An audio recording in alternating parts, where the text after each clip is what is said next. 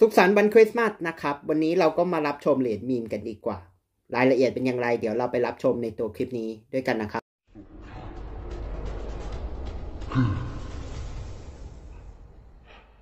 บิเกตเว็บ 3 เปลี่ยนจากเมกะสวอปแต่สามารถเข้าถึงเหรียญต้นน้ำได้ก่อนใคร กระดานบิตเกตสามารถสมัครกระดานใต้ มูลไปด้วยกันกับช่องคอยนิมูลนะครับ วันนี้เรามาติดตามชมในเรื่องของเหรียญมีม ก่อนอื่นนะครับ เราขอโปรโมทกระดานบิตเกตนะครับ ท่านใดสนใจในการฝากลูน่าแคสิก10%ต่อวัน ก็สามารถที่จะฝากได้นะครับ ใช้เวลาประมาณ 30 วันนะในการฝาก ถ้าจะรีดีมนะครับ ก็สามารถรีดีมได้ แต่ก็จะไม่ได้ดอกนะครับ ระยะเวลาในการคืนรีดีมก็ประมาณ 2 วันนะครับ ก็ผมจะทิ้งลิงก์เอาไว้ใต้คลิปนี้นะครับ แล้วเราก็มาดู เหรียญต่างๆด้วยกันนะครับ ช่วงนี้มีการขยับดีนะครับ ในช่วงของ altcoin แล้วก็ดูเหมือนว่าเป็น mini altcoin season ด้วยในรายย่อยๆเนาะนะครับช่วงนี้ altcoin มีการวิ่งดีนะแล้วก็บิตคอยมีการพักตัวนะครับฉะนั้นมันก็ตกอยู่กับพวกกลุ่มของเหรียญมีมหรือเหรียญ altcoin นะครับกำลังขึ้นดีเลยนะครับ หลายตัวไม่ว่าจะเป็นซาโตชิหรือ SATS นะครับ แล้วก็ตัวของอ่าบองอะไรพวกนี้นะครับ แต่วันนี้ เราจะไปตัวของชิบะนะครับ ไม่มีข่าวเรื่องของบองบองเมื่อวานก็เข้ากระดานคาเคนนะครับคาเคนกับกับคาดานเจมินิมั้งนะครับ มีข่าวเหมือนกันว่าจะเข้าอะนะนะครับ แต่ว่ายังไม่ได้ลิสต์นะครับเราก็วาเซอร์เอ็กนะครับ เป็นกระดานเอ็กชแนนของอินเดียก็จะเอาบองเข้านะครับ ก็น่าจะเพิ่มแรงของบองได้เหมือนกันเนาะนะครับ อยู่ที่ว่าวานแหละ นะครับ จะเอาเม็ดเงินจากโซโลนามาเล่นบองหรือเปล่า ก็ต้องติดตามด้วยกันนะครับว่าบองจะเป็นยังไงต่อ เอาแหละนะครับ เรามาดูเรื่องของข้อมูล into the block นะครับเขาบอกว่ามันมีการสะสมของวานเนี่ยมากกว่า 6 ล้านล้านนะครับ ชิปเนี่ยนะครับบ่งชี้ว่าเงินเนี่ยเข้าออกนะครับ แล้วก็มั่นใจด้วยนะครับ ซื้อที่ราคาประมาณ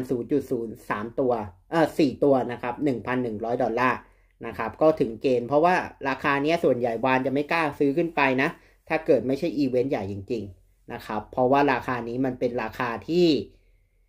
ตอนตั้งแต่สมัยของ FTX เนี่ยมันโดนทำลายมานะครับ ก็โดนทำลายเนื่องจาก FTX แหละ แล้วก็เรื่องของสงครามเนี่ยนะครับทำให้ราคาเนี่ยไหลลงออกตลอดเลยนะครับ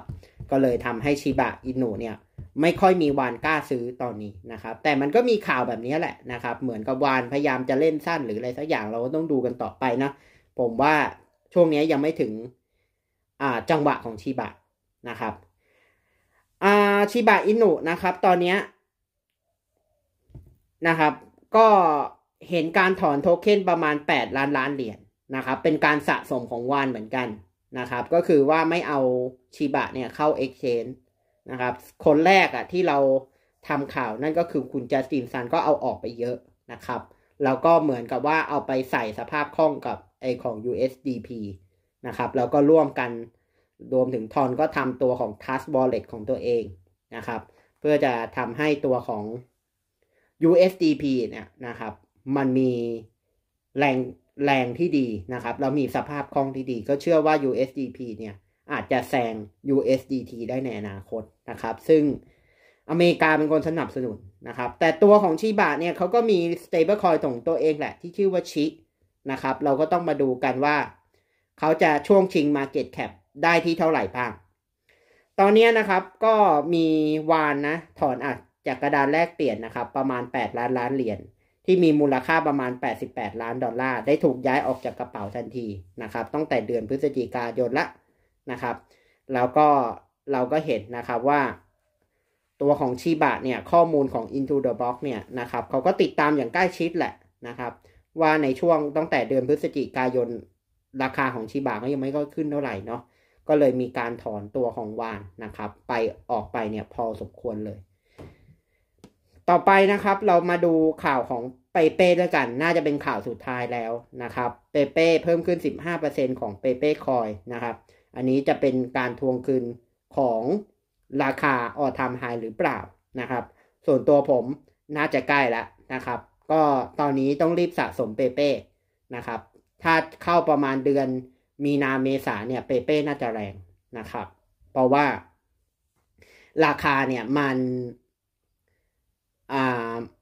มันเป็นช่วงครบปีของเขานะครับ น่าจะมีการขยับราคาบ้างแหละ ช่วงเมษานะครับ อาจจะช้าไปหน่อยเมษาพฤษภามิถุนาอะไรอย่างเงี้ยนะครับ ก็วานก็จะเล่นaltcoin เนี่ยสลับกันนะครับเปเป้นะครับก็แตะระดับที่พันห้าร้อยเก้าสิบที่ศูนย์ห้าตัวนะครับฉะนั้นนักลงทุนเนี่ยก็มองว่าเปเป้ยังไปต่อได้ ซึ่ง all-time high สูงสุดน่ะตอนที่เปเป้เข้า Binance นะครับก็คือ สี่พันสามร้อยห้าสิบสี่ดอลลาร์ที่ศูนย์ห้าตัวนั่นเองนะครับ แล้วหลังจากนั้นก็ลงมาเรื่อยๆเลย จนเหลือหกพันสามร้อยหกสิบเก้าดอลลาร์ที่ศูนย์หกตัวนะครับ แล้วก็มีการฟื้นขึ้นมาอีกนะครับดังนั้นข้อมูลอะโดยทั่วไปก็มีอยู่ประมาณนี้นะครับ ผมก็ฝากเรื่องของอกระดานนะครับ ชื่อว่า OKX นะครับ ตรงนี้ก็เป็นกระดานที่ช่วยสำหรับในการลงทุนนะกัน นะครับ ท่านใดอยากจะซื้อเหรียญมีม ที่เป็นเหรียญต้นน้ำเนี่ยนะครับของ BRC 20คือเครือข่ายของ Bitcoin เนี่ย เข้าไปซื้อได้ที่เว็บ 3.0 นะครับ อ่าแล้วก็อ่าผมฝากคอลเลกชันของแมนนี่ปาเกียวไว้นะครับ ท่านใดสนใจก็เดี๋ยวผมจะทิ้งลิงก์เอาไว้ใต้คลิปนี้นะครับ เป็นลิงก์กลุ่มนะครับ ว่าจะเข้าไปซื้อเนี่ย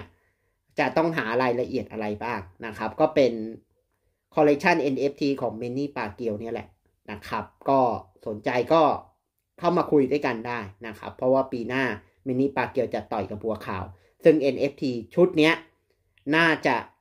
เหมาะกับการเก็งกำไรนะครับ ใครเป็นสายนี้ก็สามารถเข้ามาศึกษาก่อนได้นะครับ เราก็ทำการซื้อกันก็ได้นะครับ เดี๋ยวก็จะเปิด pre-sale แล้วล่ะใกล้ๆเนี่ยนะครับ ช่วงปีใหม่ โอเคนะครับ ข้อมูลโดยทั่วไปก็มีอยู่ประมาณนี้นะครับ เราก็ฝากทุกท่านที่จะติดตามด้วยกัน ฝากกดไลค์ กดแชร์ กด subscribe แล้วกดกระดิ่ง กดปุ่มติดตามแล้วก็มีกลุ่มมิชชั่นนิวมูลชิบะแล้วก็เปเป้นะครับ แล้วเราจะทิ้งลิงก์กลุ่มเอาไว้ให้นะครับ แล้วเสร็จแล้ววันนี้ศึกษาข้อมูลก่อนการลงทุนนะครับ การลงทุนมีความเสี่ยงและสมัยนี้ผมหวังว่าชิบะและเปเป้จะ go to the moon ไปด้วยกัน และพอร์ตการลงทุนของท่านจะมูลไปด้วยกัน กับช่องคอนิมูลสำหรับวันนี้ขอตัวลาไปก่อนครับ ง่าย สะดวกรวดเร็วบนกระดาน OKX กระดานอัจฉริยะ ใช้ได้ทั้ง Exchange และ Wallet ผสมกับเว็บ 3 NFT และ Swap ผ่านกระดานได้เลย ง่ายนิดเดียวกับ OKX